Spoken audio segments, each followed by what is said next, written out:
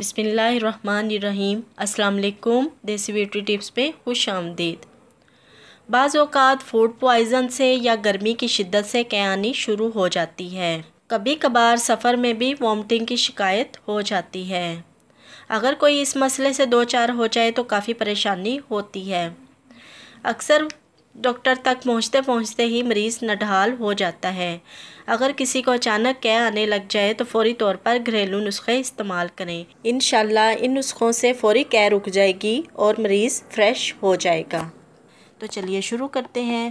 مگر اس سے پہلے آپ سے ایک چھوٹی سی ریکویسٹ ہے۔ اگر آپ نے ابھی تک میرا چینل سبسکرائب نہیں کیا تو سبسکرائب کر لیں اور بیل آئیکن کو دبا دیں تاکہ مفید اور معلوماتی ویڈیوز آپ تک بآسانی پہنچ سکیں۔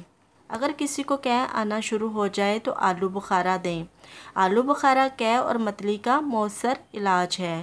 دھنیے کا رس پینے سے کہہ آنا بند ہو جاتی ہے۔ اس کے علاوہ پیاز سونگھنے سے بھی کہہ آنا بند ہو جاتی ہے۔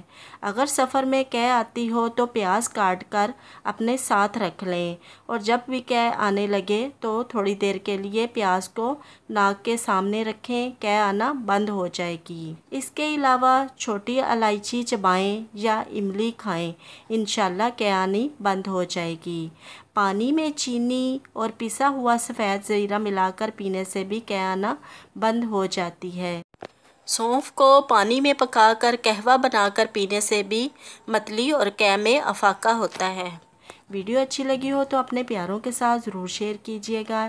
اجازت چاہتی ہوں ایک نئی ویڈیو کے ساتھ حاضر ہوں گی۔ اللہ حافظ۔